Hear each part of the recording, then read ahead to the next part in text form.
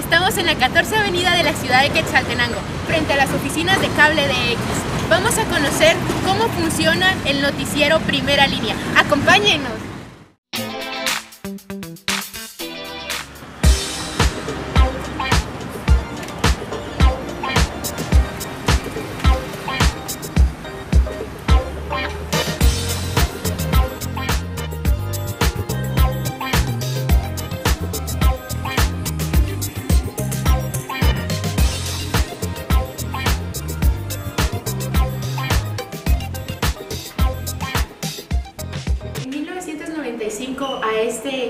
Canal se le conocía como Cable Noticias. En 2004 cambió su nombre a Primera Línea.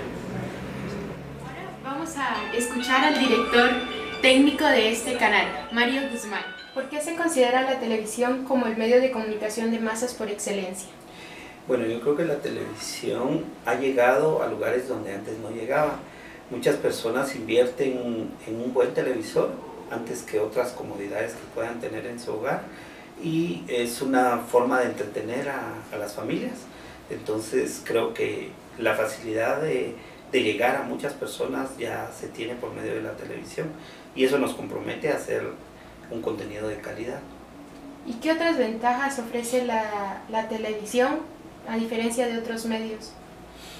Eh, yo creo que una de las ventajas es eh, que podemos ver, a diferencia de la radio y a diferencia de un medio escrito, que po- podemos ver en vivo eh, lo que está pasando con movimiento. Entonces creo que abarca mucho más los sentidos y el sentido de la vista es el sentido uno de los más importantes y, este lo tiene la televisión, entonces creo que por eso es una ventaja eh, para, ante otros medios. Y con los medios digitales, los medios digitales también nos ofrecen audio, video. ¿Cómo han afrontado esa competencia, por así decirlo, con los medios digitales?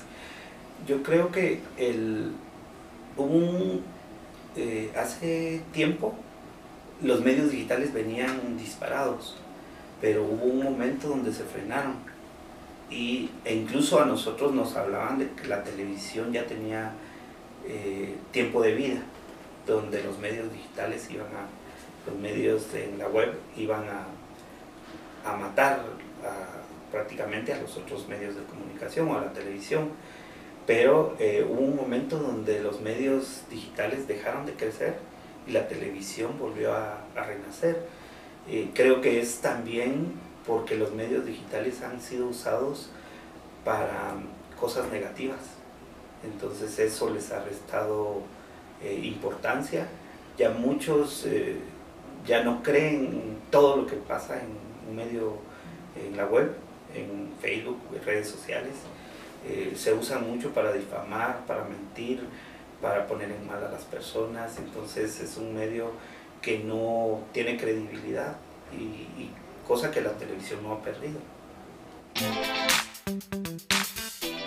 Queremos saber qué es lo que usted realiza en el medio, cuál es su función, cómo es su trabajo. Ok, eh, yo me desenvuelvo en el ámbito de comunicación técnica. Eh, mi labor acá dentro del canal es poder estar al pendiente de que todo lo que se realice salga al aire bien, poder ver lo que es el logo, en la parte técnica poder colocar cada programa. Estamos a cargo de la programación en sí, es de, somos los ojos del canal, ¿verdad? O sea, estamos al pendiente de que todo lo que salga, que se produzca dentro del canal, salga bien, ¿verdad? Y sin ningún tipo de...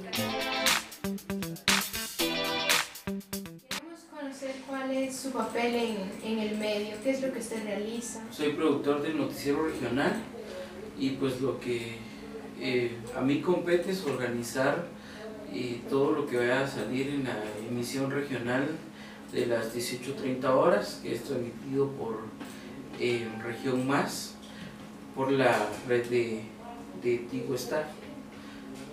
Me dedico también a la producción de noticias, a la revisión de información y a la edición de, de algunas noticias que van a salir en el, en el noticiero. En el medio y cómo se relaciona con nosotros, cómo es que trabajan en él. todo es un conjunto de, de- de acciones que nosotros hacemos todos los días.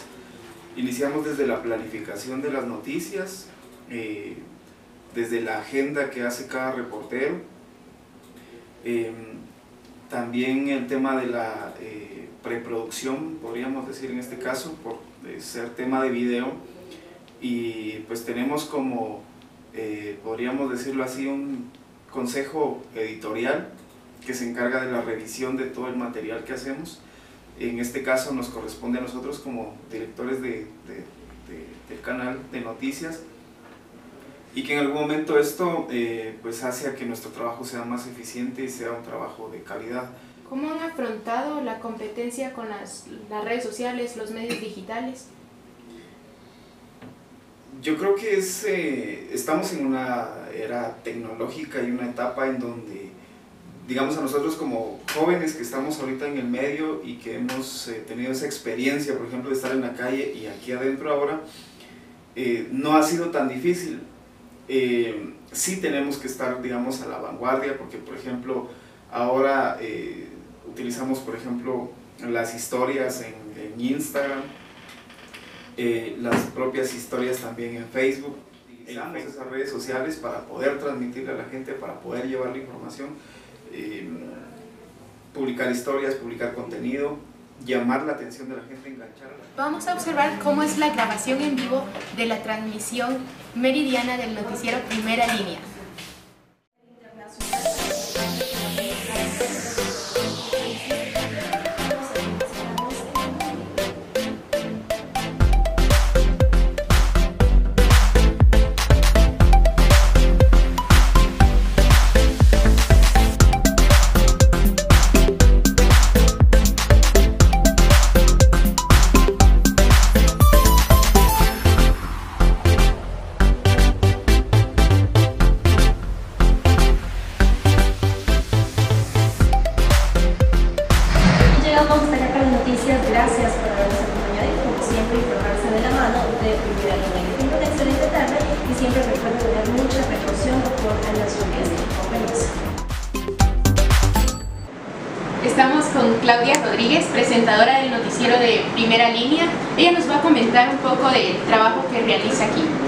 Gracias Ángel, es un gusto poder compartir con todos ustedes y darles a conocer también el trabajo que realizo.